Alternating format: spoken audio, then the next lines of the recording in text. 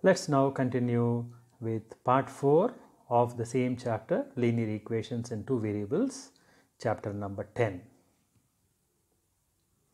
Solution of a linear equation this is a new section. This is the second part we are going to do out of the three things which we are supposed to learn in this chapter the second thing we are going to learn now. In the last video we practiced some examples now hope all of you are able to understand what is a linear equation in two variables and also we also saw like by adding a second variable with a multiplication factor of 0 we can convert single variable equation to a two variable equation. However, we will see this in detail in the graph section when we do the third part of the chapter. So, in this video we are going to learn about linear equations in solutions for linear equations in two variables. We already know how to find solution for a linear equation one variable. I will just give an example here. p square equal to 4 into s, perimeter of a square equal to 4 into side. If p equal to 16, then s equal to p square by 4. So, what we have done? So, I have taken 4 to the other side from LHS or you can see now s is on the RHS, 4 also in the RHS. From one side to other side I have taken. All of you know if it is plus or minus, the sign changes. If it is multiplication or division, it goes to the opposite that is cross multiplication. If it is multiplied, then it goes to divided when you change the side and vice versa. Hope all of you know this. I do not need to explain you in detail. So, p, p square in equal to 4 into s. Yes, we have retained in RHS and I have taken 4 to the bottom p square by 4. Therefore, we are getting the answer as 4. To find the solution, we keep the variable in one side and take the constants to the other side, thereby getting an unique solution. This is how we normally do in a solution for a linear equation in one variable. In two variable, it is not possible to do as we did for one variable as there are two variables. Also since there are two variables but only one equation, we will get multiple solutions. Let us see what is that. Unique solutions are possible if there are as many linear equations as there are variables. That is, for example, we need two equations if there are two variables, three equations if there are three variables etc. to find unique solutions. That is, in this case, if x and y two variables are m and n whatever two variables are there then we need t two equations but we are having only one equation with that we are going to solve let us see how it is. The above will be discussed in later chapters and classes. So, how we will be solving in uh, having two equations, how to find the value of the variable. In the later, in one of the last part, summary parts also, we will be discussing in brief about that. But in detail, how to solve these equations will be taught in the later classes or in a different chapter, not in this chapter. In this chapter, we are going to discuss only a single equation, single degree and two variables. So, let us now see how to find the solutions of a linear equation in two variables. Let us take an example 2x plus 3y equal to 12. This is a typical linear equation and one thing you can note when you when it is asked in a question show this in the write this in the form of ax plus by plus c equal to 0 then only you need to do that. So, if, if an example is given like this if a question is given like this 2x plus 3y equal to 12 and convert this into linear equation is two in two variables in the form ax plus by plus c equal to 0. Then what you should do? I am asking a question.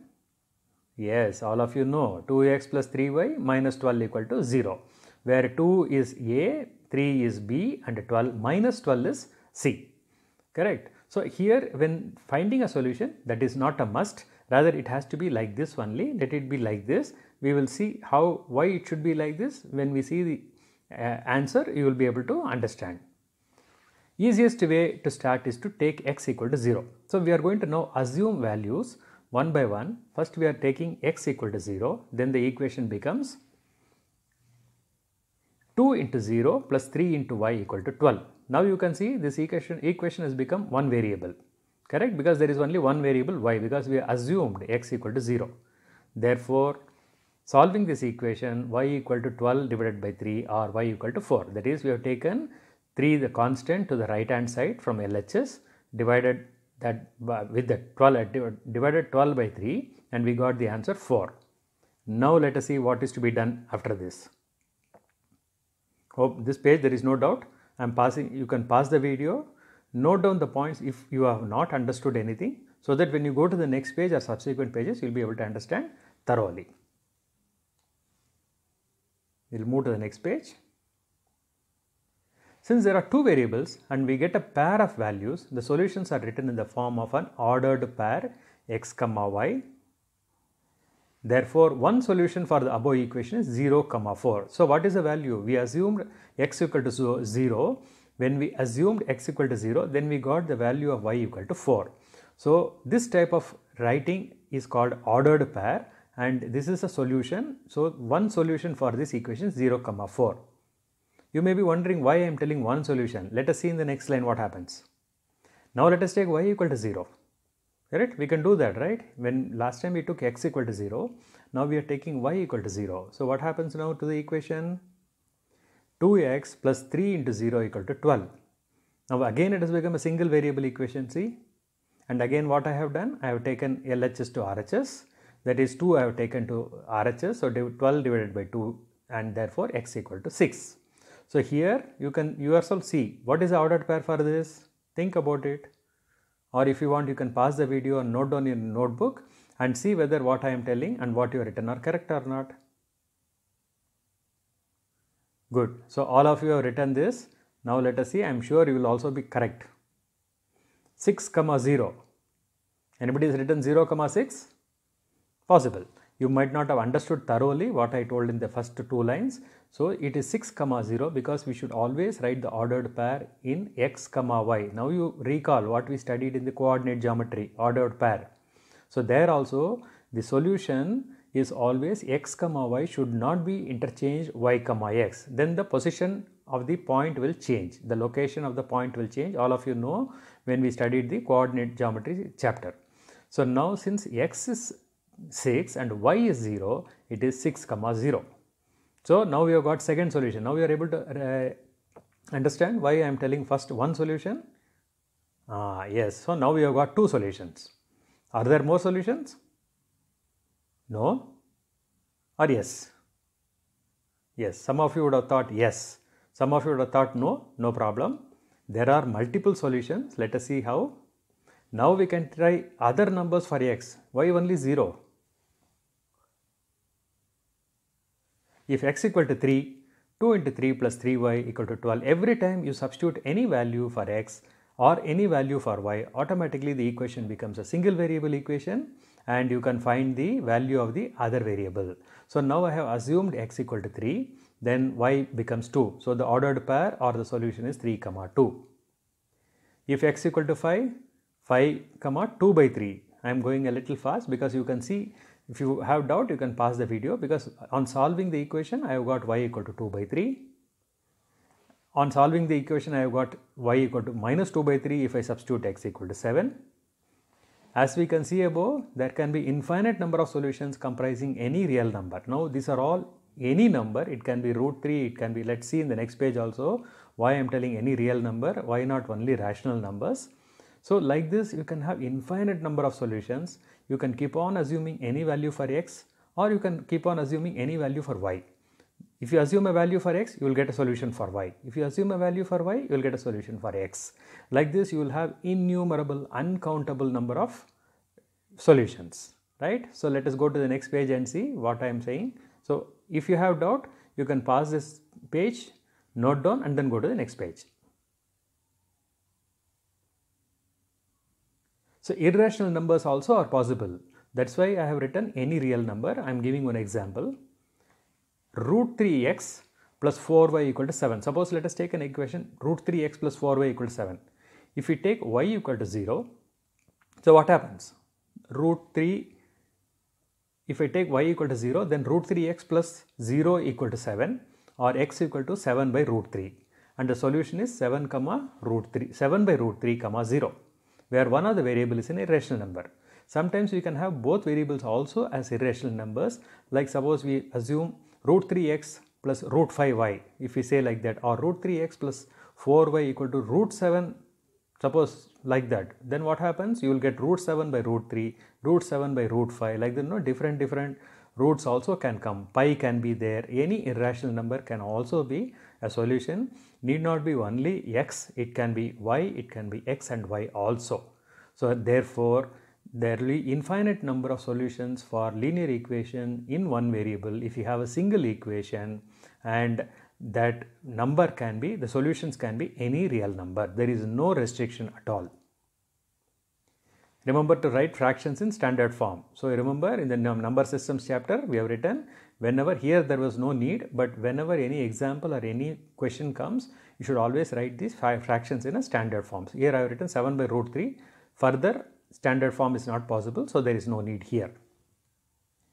Care should be taken while assuming values for one variable such that we do not get non-whole numbers in the solutions for certain variables like number of students, teams, classrooms, benches, etc.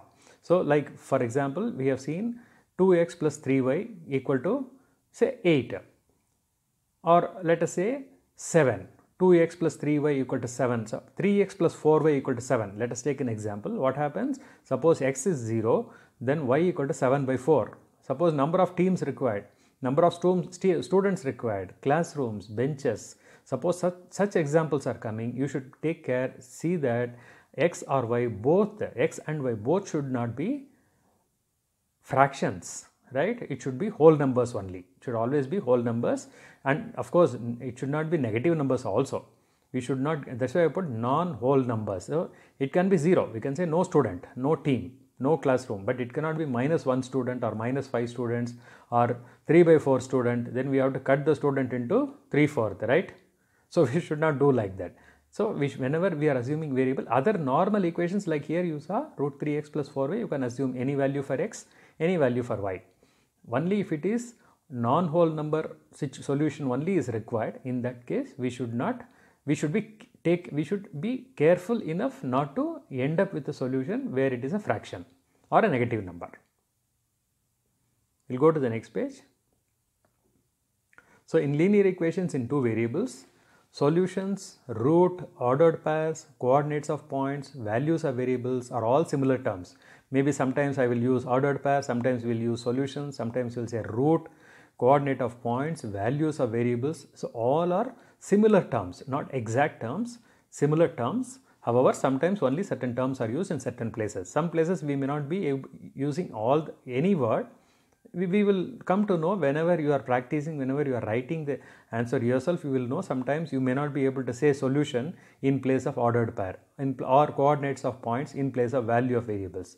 Sometimes it will come, but you need not bother for the time being and even for this whole chapter, wherever you see whether it is a solution or a root or a ordered pairs or coordinates of points or values of variable, they all make only one meaning. What meaning?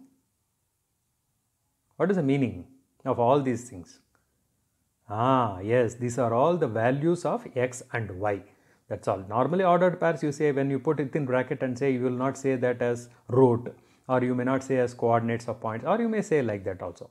So, this uh, wherever you see any one of these words it means the other words also in this chapter. So, in this video we learnt how to find solutions for linear equations. So, by taking different values for one variable either x or y and then solving the equation for the other variable we are able to find the solution for linear equations. And the next video, we are going to practice some examples so that you will be able to thoroughly understand what is how to find the solutions for linear equations. So we have five questions. Pause the video, note down the questions and then proceed further. And that's all for this video. Thank you so much.